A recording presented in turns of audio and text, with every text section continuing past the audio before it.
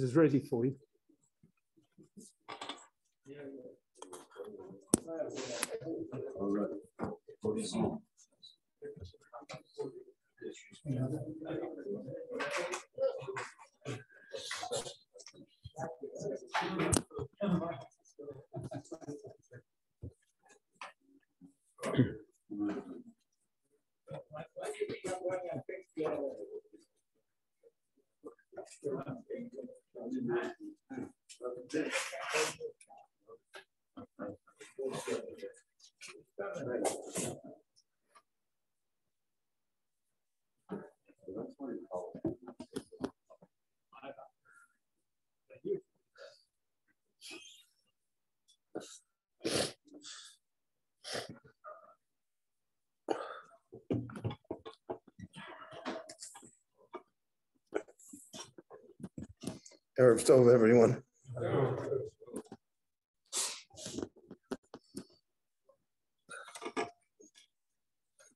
We're all aware that the uh, there were luchos rishonos and luchos shnios. The first set of the commandments from Sinai, and second set first was we, we read about this week's Parsha. Second set we'll read about Parshas Kitisa. Oh, the question is, uh, there are a lot of questions that the Meforshim deal with. Uh, were they identical? In other words, uh, was the text of the Luchos uh, completely identical with what it was in the Luchos Rishonos. So there are different opinions. One opinion is that it was identical. The problem with that opinion is that the text that appears in Chumash Dvorim, in Parshas Vayatchanan, about the uh, Aseres Advorim, is not identical to the text that appears in this week's parsha of Yitro and Chumash.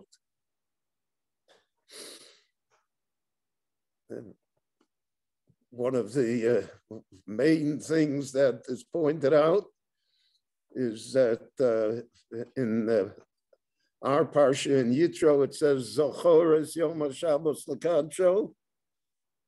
and in Parshat uh, Chanan, it says, Shamor es Yom Shabbos Lakadsha.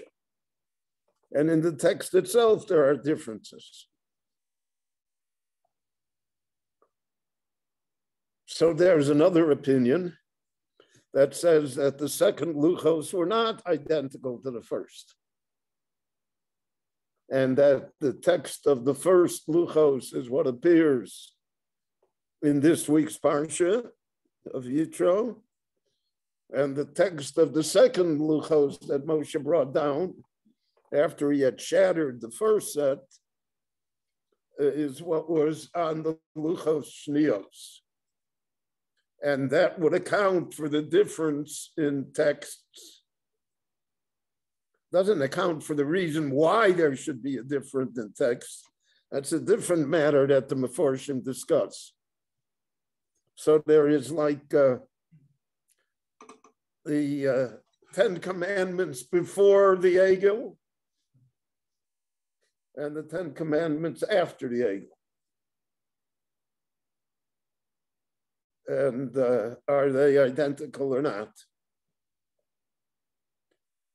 Also, we find in this week's Parsha that when the Jewish people uh, received Moshe's uh, uh, the Luchos that they're going to have the Torah, and they heard it from Sinai. So the first uh, Luchos, they at least the first two commandments they heard, so to speak, Aviyochel from Hashem himself. Then they said that we cannot withstand that level of holiness and therefore, Daber Ato, you, you tell us the rest. Well, in the second Luchos, uh, Moshe, it's all Moshe. There was no divine revelation to the Jewish people anymore because after they had committed the sin of the Maisa Egel, they were unable to restore themselves to the level that they were before the Maisa Egel.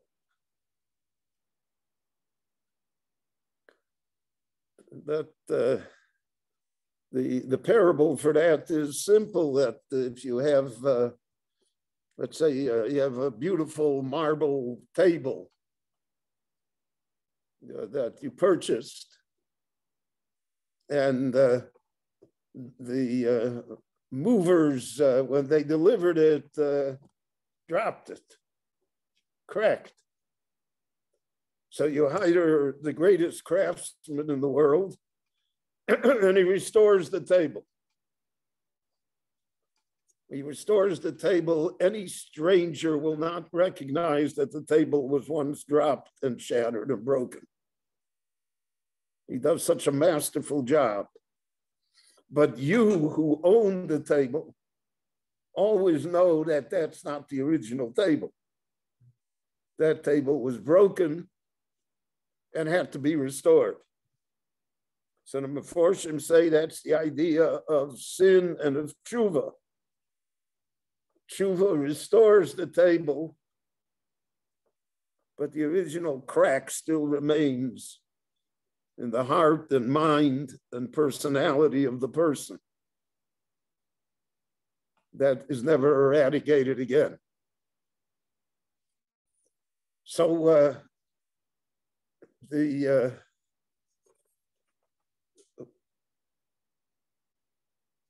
we say in Shemoneh Esrei on Shabbos uh, for Shachar is Yismach Moshe b'matnas chelko Yevet Neman Korosalo Klil Tiferes Barosho Nasatalo V'yomdo Lefonecha Al Har Sinai U'shnei Luchos Avonim Hori Biyodo V'chosu Bahem Shmira Shabbos So the Meforshim say that refers to the second Luchos. Because then it says, V'shomru b'nei Yisrael es Shabbos. Friday night we said Zohar is Yom HaShabbos Lekadsha.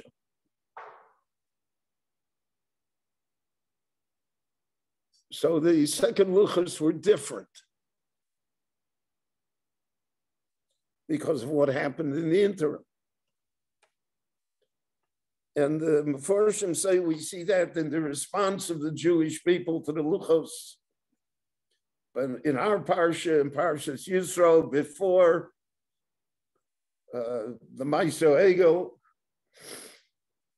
so uh, the Jewish people said, Kol Diber Hashem Nas, whatever God says we'll do. They didn't say more than that. They didn't say Na'aseh V'nishma the first looks. In Parshas Mishpotim, afterwards, there it says Na'aseh V'nishma. So the Meforshim explain when Moshe came down from Sinai with the first luchos, So the Jewish people, uh, there was no uh, Torah Sheba'al Peh taught to them yet. Because when Moshe came down with the first luchos, that was at the Ma'aser Egel. Moshe was up in heaven for 40 days to receive the Torah Sheba'al Peh. But when he comes down, the egel is there and they're dancing in front of the egel. So he shatters the luchos. So there never was a Torah Sheba'al Peh for him to say anything about yet. Then, as the story continues in the Chumash, Moshe goes back up.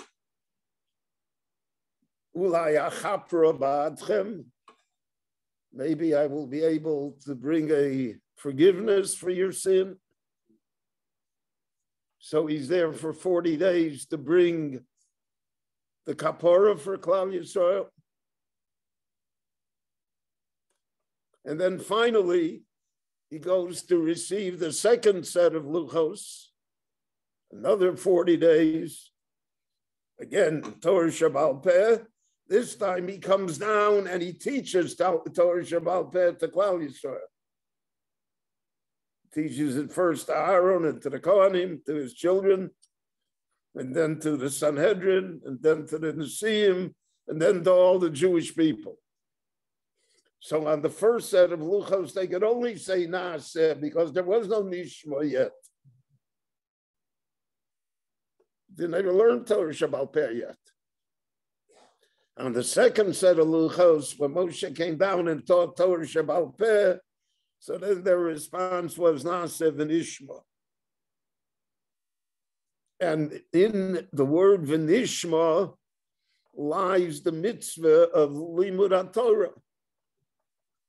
ושיננתם לבונך ודיברת בום בשבתך ובשך ובלכתך בדרך בשוכבך ובקומך that we're always involved with Torah. The Torah is all consuming and all encompassing. And that our, our connection to Torah is continual and all embracing. That's because of Torah Sheba'al Peh. Torah Shabbat alone would not merit uh, such uh, a connection. It would not be able to engender such a connection. Because Torah Shabbat is the living Torah. It's the Torah that every human being adds to. Everyone has their own insight. Everyone has their own understanding. If it's merely a book of set laws, so then uh, there's little room for uh, human participation. The Ribbono Shel Olam intended that the Torah is always a partnership between God and the Jewish people.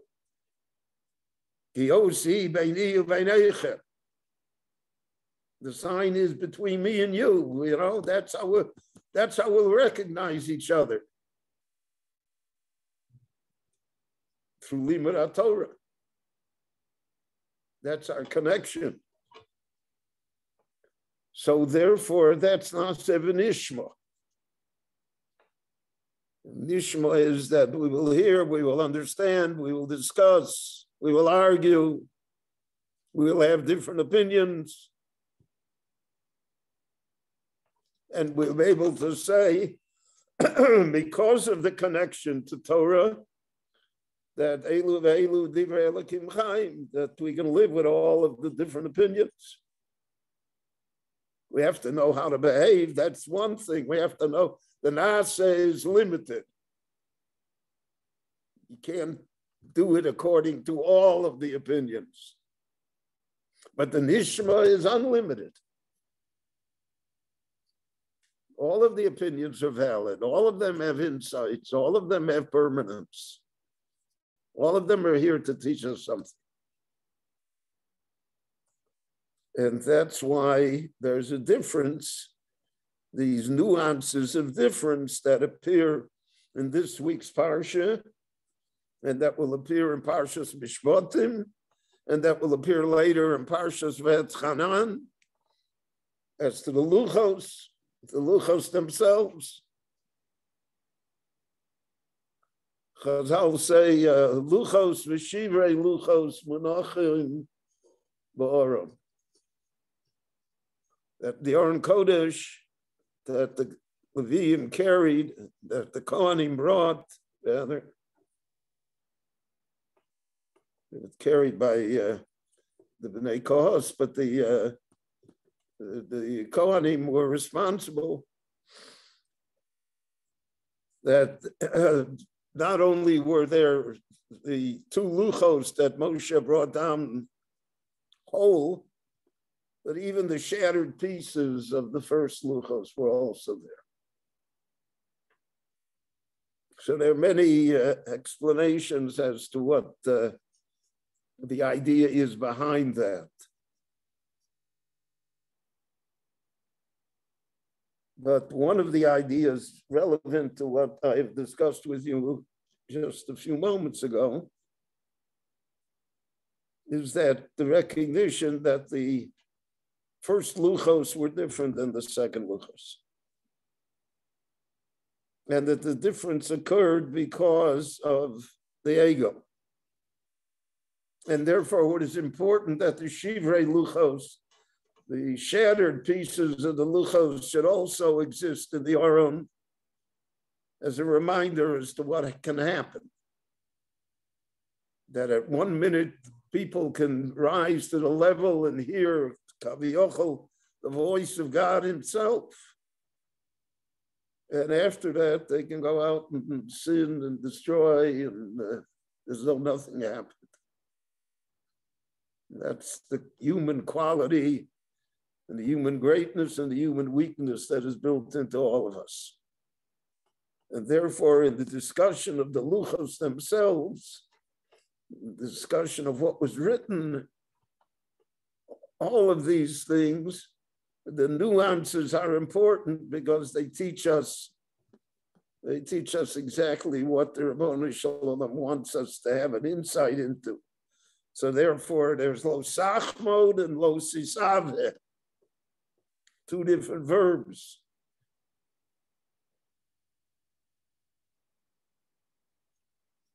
Forshim explained that lo sachmod is you shouldn't want something that you see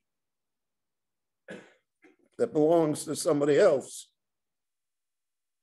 Lo is you shouldn't make yourself want things even that you don't see. It's a different level. So again, the nuance is important. And according to the Ramban, all of the Taryag mitzvahs are included in the Aseres Advarim. So by having an understanding of the Aseres Advarim, and by having an understanding of what is represented there, we come to an understanding of Torah generally and of all of the mitzvahs of the Torah that are incumbent upon us. Rabbi Chananya ben Akashya Omer Ratzah Kodesh Baruch Hu Lazakos Es Yisrael Lefi Chachir Balahem Torah Mitzvot Shenamar Adonai Chavei Siman Tzidko Yagil Torah